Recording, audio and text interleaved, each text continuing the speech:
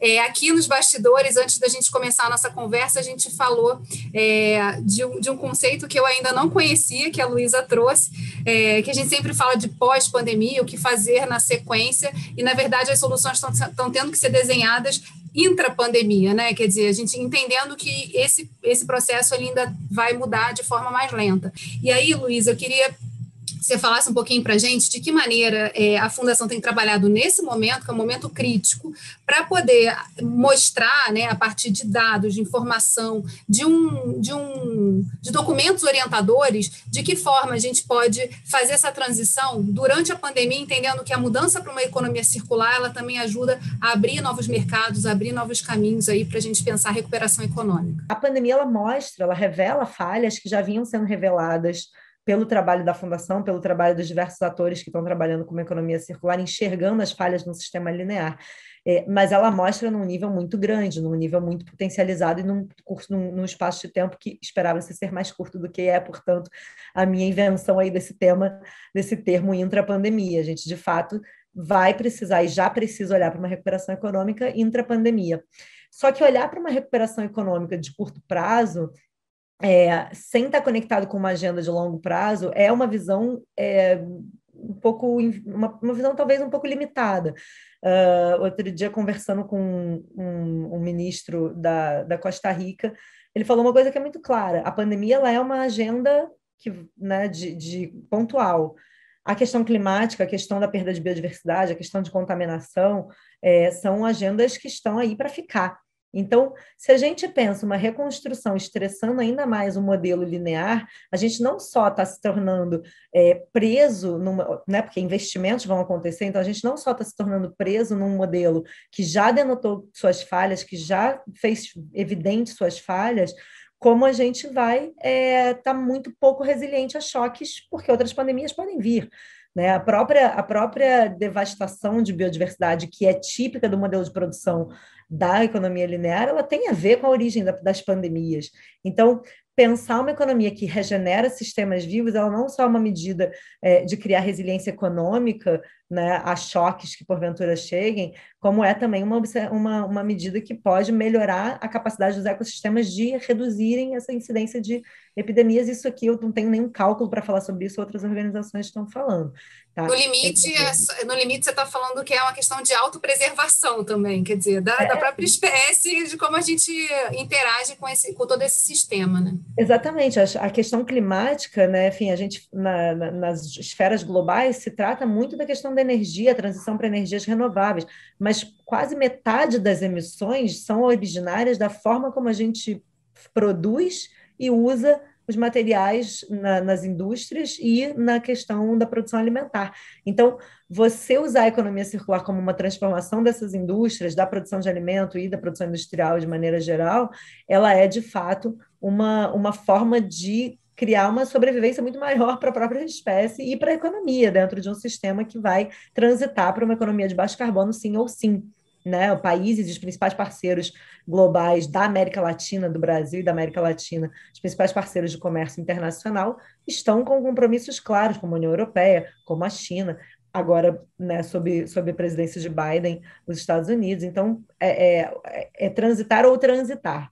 É uma, para uma questão de sobrevivência da, dos nossos países, das nossas economias. Como é que a gente faz para dar um ajuste de rota, né? para conseguir fazer com que a gente consiga virar o leme na direção de um processo mais, mais é, restaurador, é, que garanta que a, gente, que a gente possa continuar produzindo, e aí a gente fala, quando a gente fala da América Latina também é um espaço de, de maior é, possibilidade em relação a isso, porque a gente tem ecossistemas aqui, biodiversidade, que em, outro, em outras partes do, do mundo não existe mais, já, já foi destruído pela economia linear. Então, como é que a gente consegue também se colocar nessa perspectiva né, de ser um, um espaço em que o investimento nessa, nessa regeneração, o investimento nessa economia pode ajudar a impulsionar aí a, a outra, uma outra realidade, né? Finalmente, no século XXI, em que assim a gente guarda aí a, a chance das coisas mudarem, né? E pensarem e a gente pensar diferente. A gente trabalha assim com duas linhas de frente, né? A linha de frente do propósito e a linha de frente do risco, porque aquelas empresas que já entenderam que essa é uma necessidade, né, coletiva, né, de todos, global. E, no mínimo, conseguiram se perceber como peça dentro dessas ações necessárias para uma transição, elas conseguem trazer isso para o propósito da empresa. E aí, é, uma vez que a empresa internalizou isso dentro do propósito, pelos mais variados motivos, né, seja iniciado por uma pressão externa, por um líder interno que tenha né, uma visão, é, um interesse maior na causa, por um nicho de consumidores que está pressionando aquela marca para isso, não importa o motivo inicial, uma vez que a empresa internalizou aquilo, é a gente trabalhar nesse caminho, pavimentar esse caminho para que seja possível essas mudanças. Então, é a gente começar a mexer na regulação, entender onde é que a gente precisa parar as arestas, onde é que estão as barreiras, o que, que precisa ser incentivado economicamente, então que linhas de financiamento a gente pode modificar ou criar para que essas empresas ganhem um impulso, esses melhores da classe sejam um exemplo para a sua cadeia de fornecimento ou para o seu segmento.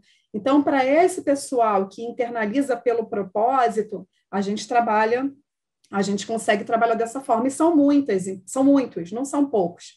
São cada vez mais, porque isso é um processo lento, mas é um processo contínuo, né?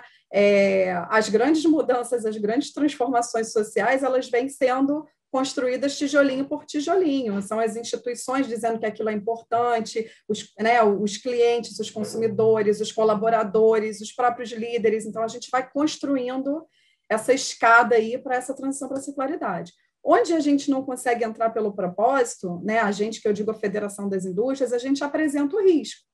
Os grandes, as, os grandes baques para o setor econômico, eles vão acontecer periodicamente por um ou por outro motivo. A bola da vez é a questão da pandemia.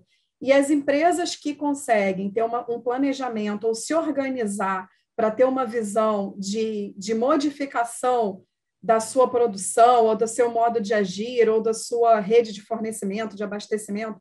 As empresas que conseguem ter essa visão de que elas precisam ser flexíveis às mudanças, normalmente são as empresas que vão conseguir internalizar um conceito de economia circular, mesmo que elas pensem, poxa, isso para mim é, é, não é para agora, é para daqui a pouco, mas eu vou começar a caminhar nessa direção. Então, essa visão do risco é uma visão muito importante. Agora, na pandemia, os olhares, né, da, a, quem está precisando se recuperar economicamente está olhando no agora, no que, que eu preciso fazer agora para sobreviver para amanhã, para poder talvez pensar em como é que eu posso me sair melhor né, numa, próxima, numa próxima onda, numa próxima questão que aconteça e que abale o, o meu, o meu negócio né? Mas é, é, aí é tudo é como que a gente consegue colocar essas questões, né? E fazer os empresários né, perceberem é, que quem tem um olhar é, de transformação, esse olhar de, de, resiliência, apesar de ser uma palavra um pouco, talvez a gente esteja usando demais ela, né, no sentido que extrapola um pouco a palavra, mas é isso. Quem consegue ter esse olhar para a resiliência consegue se modificar para as demandas de sustentabilidade, para as demandas de circularidade, para as demandas sociais, para as demandas econômicas, consegue ir se modelando ao que a nova, a nova configuração do momento propõe. Então, assim, é um pouco filosófico, mas é isso, né? Bem, nosso programa chegou ao fim. Obrigada, Carolina. Obrigada, Luísa. E obrigada a você, telespectador, que acompanhou a gente até agora. Se você quiser acompanhar um pouquinho mais dessa conversa, a gente vai esticá-la no nosso canal do YouTube do Fórum de Desenvolvimento. Só buscar a gente lá, o endereço está aí na sua tela. E lembrando também que esse conteúdo também está disponível nas principais plataformas de áudio. Só buscar por Rio em Foco. TV Alérgio, canal do Povo. Até a próxima.